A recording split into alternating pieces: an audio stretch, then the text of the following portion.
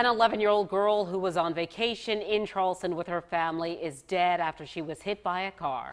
The child has been identified as Selma Aguel of Denmark.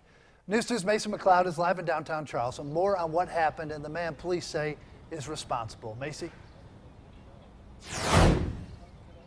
The child was visiting Charleston from Denmark with her parents.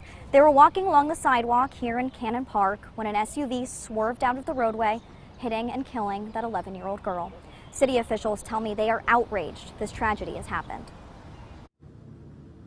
I and the members of our agency are disgusted that we stand here discussing such a senseless, preventable, and tragic loss of life. Police say the man responsible is 30 year old Jeffrey Wakefield. They say he first hit an unoccupied parked car on Rutledge and Morris Street, pushing the car into a wall in front of a home.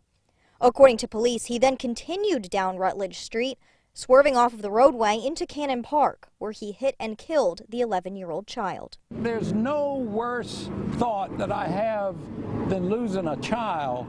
And um, so I ask all of our citizens to, to, to pray for this family. They were just visiting Charleston. They lost their precious child. This was preventable and should never have happened. Had this driver not struck a tree, I'm not sure he would have ever stopped. City leaders are pleading to the community not to drive under the influence or let anyone else get behind the wheel if they are impaired. They say they are working to make the streets of Charleston safer. I am very angry and committed to a renewed effort regarding traffic efforts in our city.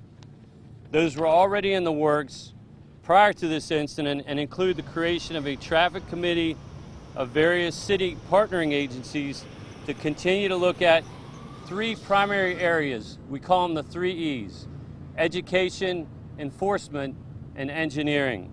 Chief Reynolds says this includes cracking down on drunk and drugged drivers. Wakefield appeared in bond court today. He was given a $50,000 surety bond for the reckless homicide charge and no bond for the DUI charge. The city of Charleston has connected the family with victim advocates, and they tell me more family members are expected to arrive to the Low Country from Denmark soon. And you can see the family is getting lots of support from the local community. They have been bringing flowers all afternoon and creating a memorial at the base of this tree in Cannon Park. Reporting live in downtown Charleston, Macy McLeod, Count on 2.